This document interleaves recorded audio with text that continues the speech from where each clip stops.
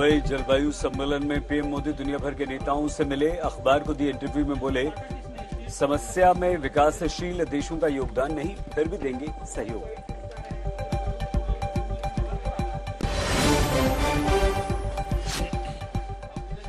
UP में budget तक आया धर्म, समाजवादी पार्टी ने मज़हब के मुताबिक काम करने का लगाया आरोप। सूबे के डिप्टी सीएम बोले, सबका साथ, सबका विश्वास।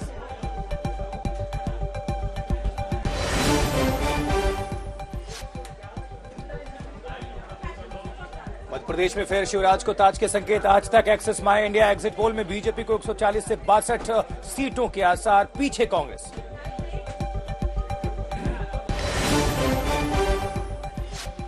एग्जिट पोल में राजस्थान छत्तीसगढ़ में कांटे की टक्कर में कांग्रेस को बढ़त के आसार। सीएम गहलोत और भूपेश बघेल की वापसी के भी संकेत।